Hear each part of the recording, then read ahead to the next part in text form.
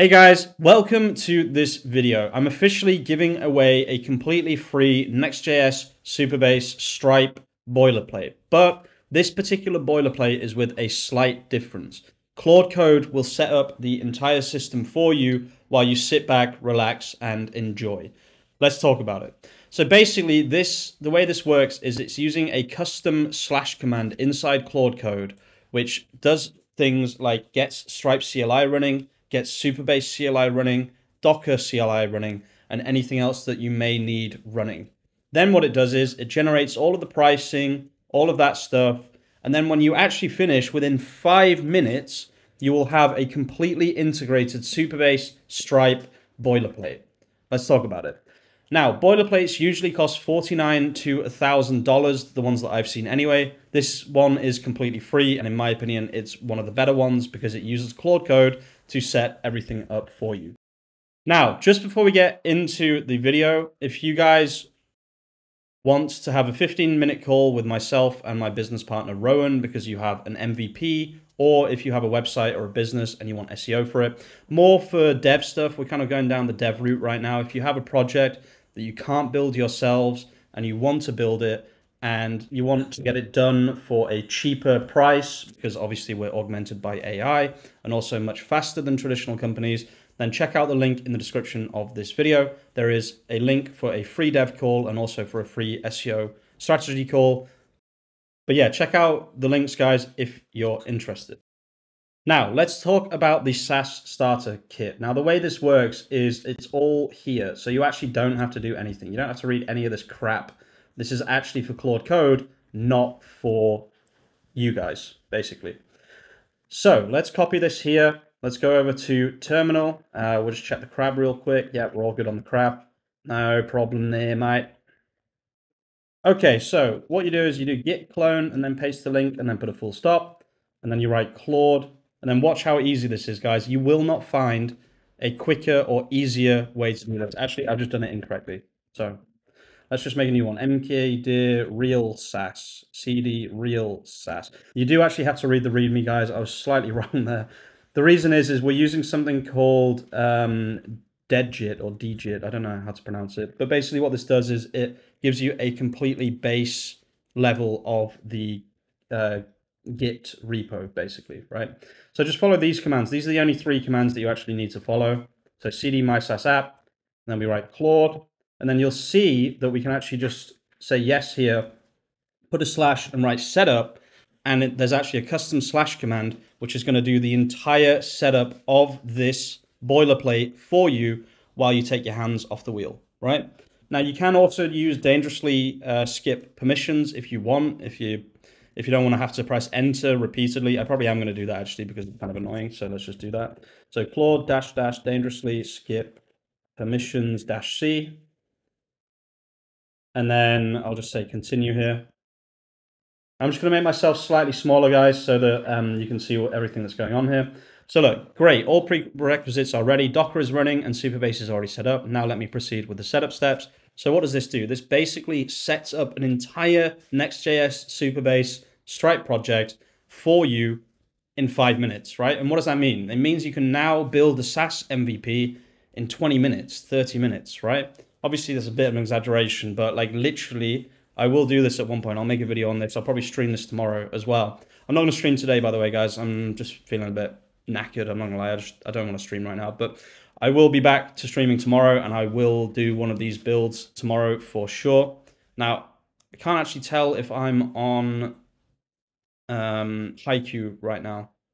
So yeah, basically you have to log in to Stripe. It doesn't seem to have got the message though. Okay, so if that happens, guys, if it says I can't do whatever, just give it access. What all I said to it was, um, can't you just log into Stripe and I'll log in with my browser? That's now what's happened. So we're now inside the inside Stripe on my local running machine, right? That's how it works. And now it's creating the product IDs. What does that mean? It's creating the prices for you. You don't even have to worry about going into Stripe, manually adding prices, nothing, right? Now, obviously, you will you, you can adapt this to you know whatever. So right now, it's set up to do specific things like the price. I don't know what the price is, but um, you can basically change the prices, right, that you want. You'd have to tell it. So you'd have to say, look, my basic price, my free price is this, my pro price monthly is this price, etc., etc., and then it will make it for you. Right now, it's just making the products. And now it's making the prices. I haven't given it any information here, so it will just make the prices according to you know logic or whatever. But if you want a specific price, then all you have to do is say at the beginning, um, can you make this price, you know, $20 a month? Okay, so for some reason, I'm not sure why it keeps saying that it can't do certain things. I'm just telling it that it can do certain things. Like, I know for the fact that I've done this before and it's got the API keys itself. It absolutely doesn't need me to do it, so I just said that to it. I just said, please uh, do it yourself, basically. So there we go. It's found our test mode API key. Perfect. And then what it does is it edits the .env and the .env.local, right, according to your environment variables, and that will include the prices and the Supabase and everything that was just created. And then one of the final things it does is it starts the Stripe CLI, which if you don't know, basically what that means is we now have a webhook listener on our local computer, which means when we send a webhook to our SaaS, it will pick it up, right? So what does that all that mean? Now, bearing in mind, I haven't paused this recording very much at all. I've probably only been recording for what, like seven minutes, I would guess. So what happens now? Let's go to localhost 3000. This is the wrong project. Okay, so this is just an example I did last night on stream.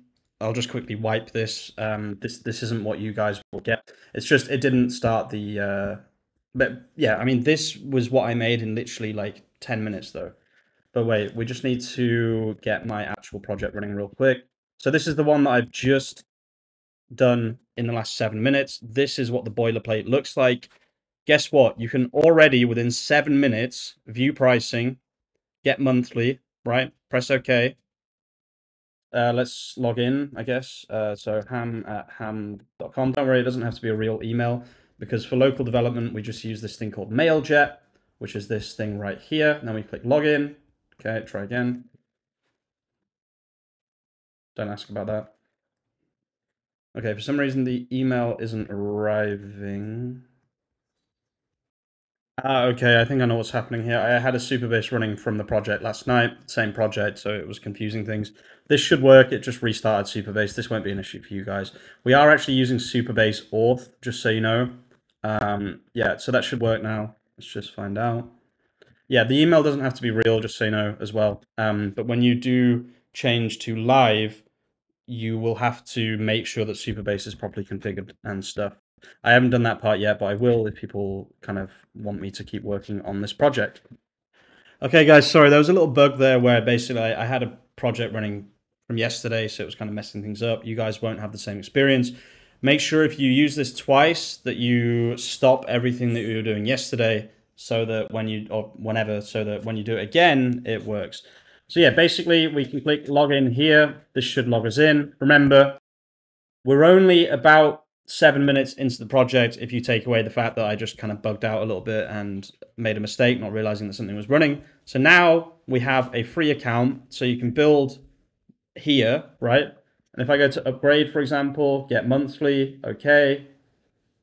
This goes straight into Stripe. Remember, I didn't set any of this up. Claude Code set this up for me, right? Just imagine that for a second, guys. Watch this. Just, just give me a second. Just watch. So I'm subscribing to the Pro tier, right? What's going to happen is I'm now going to be a paid member in the database. You can take this and all you have to do is change the styling and then build something here in the dashboard. Okay, so this still says free plan, so uh, there's obviously some kind of error here. That's fine. I can fix that. Not a problem. By the time that you guys use this, this will be fixed. Oh, right, yeah. It's the same thing, guys. The, the reason it didn't work is because, again, I already have something running. You won't have that same problem. So let's just run through this again so that you guys can see it actually working. But I promise you, when you git clone or when you use degit to get this on your computers and you tell Claude Code to set it up, as long as you have nothing running on these ports already, it should just work immediately straight out of the box. Okay, guys. So yeah, there was no issue. I didn't think there was. Basically, it wasn't. Um, it, it, it the uh, what's it called? The webhook thing. The Stripe listener wasn't running here, so I just went through a huge workaround to see what was going on. I didn't change any of the code. So what you download today will have exactly what I just used. Things to watch out for. Number one, you already have a project running, which will kind of skew because it has to be at localhost 3000 for everything to work. Number two, Supabase is already running. Number three, the Stripe webhook isn't running, the listener here. You need two background tasks here, right? You can do this manually as well if you don't want to fuck around with Claude, but if you don't know what you're doing, just make sure you have two background tasks running here. Number one is the actual project itself, npm run dev, and the second one is the Stripe webhook listener, right? So it needs to be listening for it to work. Obviously, that makes sense. I just I was kind of panicking that something broke because I pushed an update yesterday. Nothing is broken here. Get this code, make sure two things are running at the bottom, and it will work. You can see here, I'm now a pro plan user. I can upgrade, I can manage my subscription, you can even cancel. All of that is already set up, right? So where do you go from here? Tomorrow I'll release a video on this, but basically this is behind a paywall. So all you need to do is put a SaaS here and then you just need to build a home page and you're done, right? Tomorrow, I'll have a timer. We'll see how quickly I can build a SaaS. Thank you so much for watching, guys. If you're watching all the way to the end of the video, you're an absolute legend. This still took under half an hour, even with all of the problems that I had. I'll see you very, very soon with some more content, and peace out.